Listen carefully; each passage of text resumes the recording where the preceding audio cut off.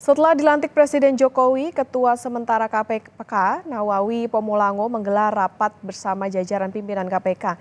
Nawawi meminta KPK tidak membocorkan nama tersangka kasus yang tengah ditangani sebelum konferensi pers.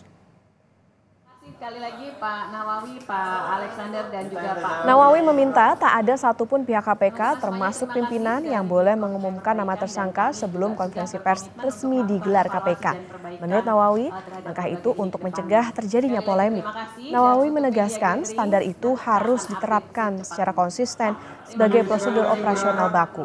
Kalau kita mencintai lembaga ini untuk tetap eksis, bantulah dengan uh, bersama-sama kita bergenggaman tangan untuk saya juga tadi dalam rapat uh, yang kami gelar telah meminta untuk uh, membiasakan diri. Kalau kita punya komitmen bahwa penetapan tersangka itu akan kita bacakan dalam pengumuman ya kita konsisten dengan itu.